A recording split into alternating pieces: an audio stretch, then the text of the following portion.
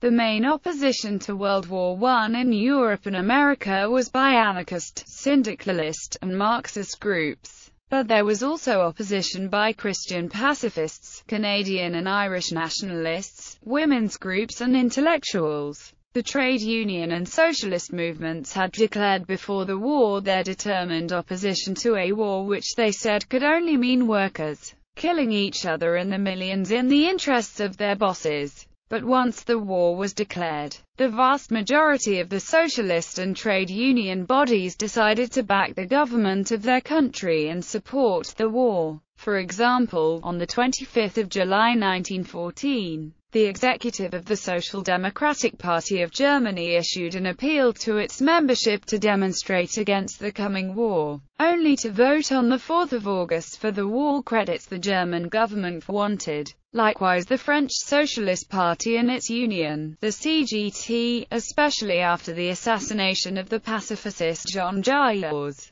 organized mass rallies and protests until the outbreak of war. But once the war began they argued that in wartime socialists should support their nations against the aggression of other nations and also voted for war credits. Groups opposed to the war included the Russian Bolsheviks, the Socialist Party of America, the Italian Socialist Party, and the socialist faction led by Karl Liebknecht and Rosa Luxemburg in Germany. In Sweden, the socialist youth leader Zeth Höglund was jailed for his anti-war propaganda, even though Sweden did not participate in the war. In Britain, in Britain, both young and old men and some women resisted conscription and towards the end of the war a range of very distinguished people were imprisoned for their opposition to it including the nation's leading investigative journalist, a future winner of the Nobel Prize, more than half a dozen future members of parliament, one future cabinet minister, and a former newspaper editor who was publishing a clandestine journal for his fellow inmates on toilet paper. One of them was Bertrand Russell, a mathematician philosopher and social critic engaged in pacifist activities, who was dismissed from Trinity College.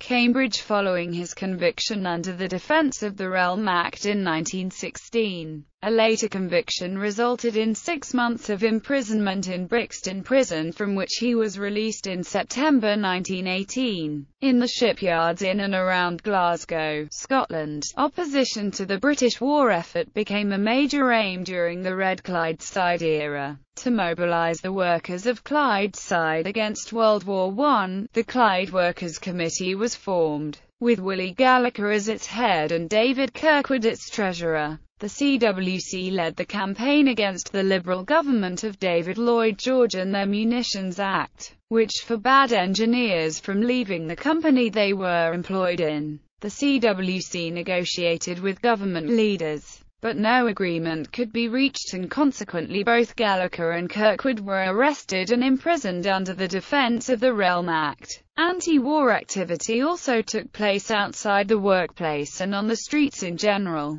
The Marxist John Maclean and Independent Labour Party member James Maxton were both jailed for their anti-war propagandizing. Half of the women's suffrage movement in Britain, and a number of prominent women's rights campaigners including Helena Swanwick, Margaret Ashton, Catherine Marshall, Maud Royden, Kathleen Courtney and Chrystal Macmillan, were opposed to World War I. This was an early coalition of women's campaigning with pacifism that later led to the formation of Women's International League for Peace and Freedom in 1915. In the British Empire, Australia In Australia two referendums in 1916 and 1917 resulted in votes against conscription, and were seen as opposition to an all-out prosecution of the war. In retaliation, the Australian government used the War Precautions Act and the Unlawful Associations Act to arrest and prosecute anti-conscriptionists such as Tom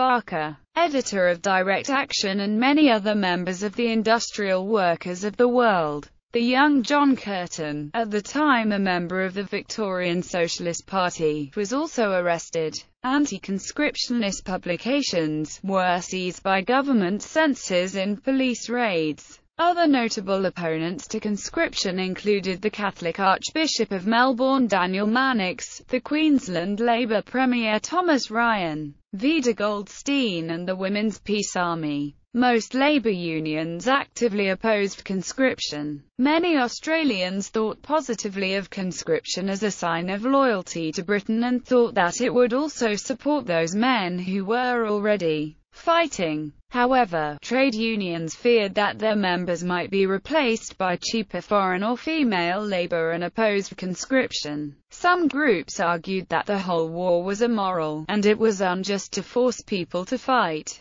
Canada In Canada opposition to conscription and involvement in the war centered on French-Canadian nationalists led by Henri Bourassa. Following the 1917 elections, the government implemented the Military Service Act 1917 that came into effect in 1918. Ireland beginning in 1914, anti-war campaigns in Ireland were led by the pacifist Francis Sheehy Skeffington and the socialist James Connolly. Both, however, were executed by the British Army following the Easter Rising of 1916. The conscription crisis of 1918 had long-term repercussions, uniting several nationalist parties and the Roman Catholic hierarchy in opposition to the draft. This played a major part in the Irish War of Independence and the creation of the Irish Free State in 1922. New Zealand In New Zealand the war was opposed by the New Zealand Socialist Party and its successor the New Zealand Labour Party. Several members were prosecuted for sedition in 1916 and imprisoned, including Peter Fraser, Bob Semple and Paddy Webb. Fraser was later Prime Minister of New Zealand for most of World War II. In other Allied countries, in Russia, opposition to the war was originally led by both Marxists and pacifist Tolstoyans under the leadership of Valentin Bulgakov. Bulgakov's first reaction to the outbreak of war was the appeal, Wake Up, All People Are Brothers, which he composed on 28 September 1914. Our enemies are, not the Germans, and, not Russians or Frenchmen. The common enemy of us all, no matter what nationality to which we belong, is the beast within us.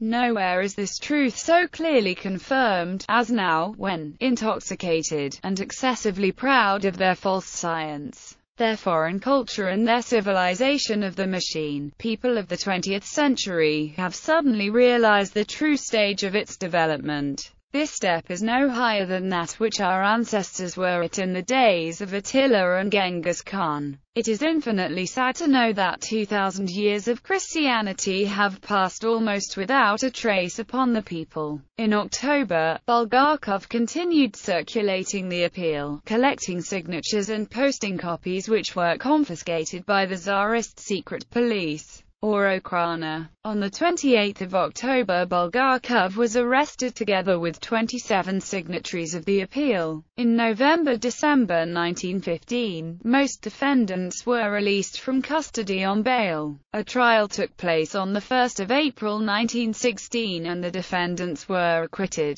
as Russia's involvement in the war continued anyway. Soldiers began to establish their own revolutionary tribunals and began to execute officers en masse. After the October Revolution of 1917, Lenin's Bolsheviks called for unilateral armistice, but the other combatants refused, determined to fight until the bitter end. The Bolsheviks agreed a peace treaty with Imperial Germany, the Treaty of Brest-Litovsk, despite its harsh conditions. They also published the secret treaties between Russia and the Western Allies, hoping that the revelation of Allied plans for a vengeful peace would encourage international opposition to the war. In 1917, a series of mutinies in the French army led to dozens of soldiers being executed and many more imprisoned. These soldiers were rehabilitated by the French government in the 1990s. In the United States, Leading up to 1917 and the declaration of war against Germany, the labor unions, socialists, members of the old right, and pacifist groups in the United States publicly opposed participation, the obvious motive for the 1916 Preparedness Day bombing stemming from this. When Woodrow Wilson ran for re-election in 1916 on the slogan, He kept us out of war, he received support from these groups.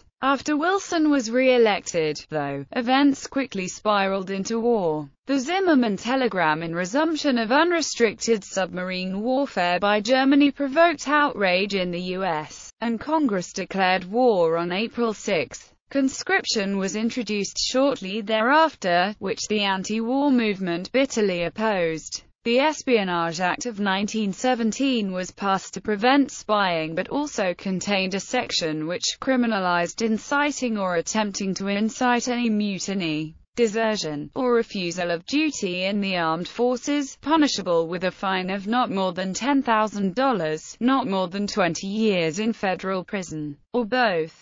Thousands of anti-war activists and unhappy citizens were prosecuted on authority of this and the Sedition Act of 1918, which tightened restrictions even more. Among the most famous was Eugene Debs, chairman of the Socialist Party of the USA for giving an anti-war speech in Ohio. The U.S. Supreme Court upheld these prosecutions in a series of decisions. Conscientious objectors were punished as well, most of them Christian pacifist inductees. They were placed directly in the armed forces and court-martialed, receiving draconian sentences and harsh treatment.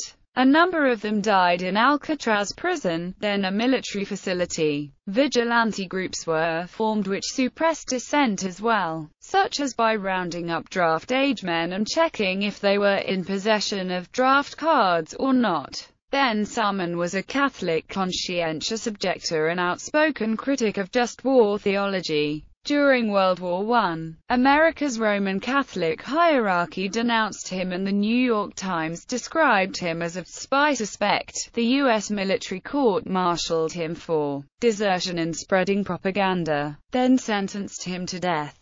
Around 300,000 American men evaded or refused conscription in World War I. Aliens such as Emma Goldman were deported, while naturalized or even native-born citizens, including Eugene Debs, lost their citizenship for their activities. Helen Keller, a socialist, and Jane Addams, a pacifist, also publicly opposed the war, but neither was prosecuted, likely because they were sympathetic figures. In 1919, as the soldiers came home, disturbances continued, with veterans fighting strikers, the Seattle General Strike, race riots in the South and the Palmer raids following two anarchist bombings. After the election of Warren G. Harding in 1920, Americans were eager to follow his campaign slogan of return to normalcy. Anti-war dissidents in federal prison, such as Debs, and conscientious objectors, had their sentences commuted to time served or were pardoned on December 25, 1921. The Sedition Act was repealed in 1921, but the Espionage Act remains, and Richard Nixon attempted to invoke it in vain to prevent the Pentagon Papers being published in 1971. Many U.S. Supreme Court decisions since then have substantially, but not explicitly, gutted the provisions used to squelch dissent. Media withheld much opposition to the war. In the colonies, in many European colonies in Africa, the recruitment of the indigenous population to serve in the army or as porters met widespread opposition and resistance. In British Nyasaland, the recruitment of Nyasa to serve in the East Africa Campaign contributed to the Chilembwe Uprising in 1915.